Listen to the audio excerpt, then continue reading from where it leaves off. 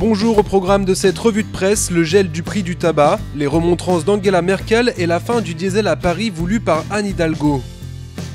C'est une première depuis 10 ans, le prix du tabac n'augmentera pas au 1er janvier 2015. Le vote tardif des députés vendredi 5 décembre a fait réagir l'ensemble des médias ce week-end. Les parlementaires ont adopté un amendement soutenu par le gouvernement proposant de suspendre l'augmentation systématique des cigarettes au 1er janvier de chaque année. Avec un manque à gagner estimé entre 160 et 300 millions d'euros pour l'État, la mesure surprend et provoque de nombreuses critiques, y compris au sein de la majorité, peut-on lire dans le journal du dimanche.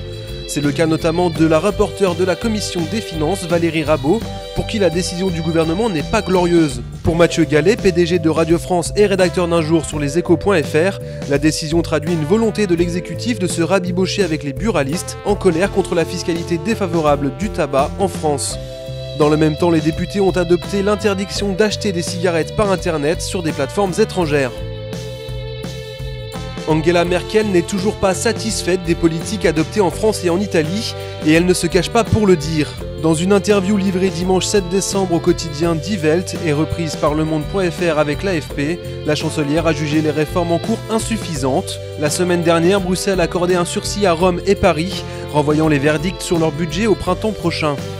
Si les déficits des deux États ne baissent pas plus d'ici là, la Commission pourrait infliger des sanctions financières aux deux pays. C'est la première fois qu'Angela Merkel critique publiquement le projet de loi de finances de son voisin français. Enfin, la maire de Paris, Anne Hidalgo, a donné une interview au journal du dimanche ce 7 décembre. Elle y dévoile son plan anti-pollution et notamment sa volonté de faire de la capitale une ville sans diesel à l'horizon 2020. Anne Hidalgo prévoit d'interdire certains quarts de tourisme trop polluants, éloigner les camions qui traversent Paris sans s'y arrêter ou encore de transformer les quatre premiers arrondissements de la ville en zone semi-piétonne. Avec l'instauration de pastilles d'identification sur les véhicules, les propriétaires de diesel seront facilement identifiés et pourraient être sanctionnés. A l'inverse, des mesures d'aide financière soutenues par l'État devraient inciter les riverains à abandonner leurs vieilles voitures diesel. Ceux qui accepteront de le faire pourront obtenir en contrepartie un abonnement Autolib ou des réductions sur les passes de transport en commun par exemple.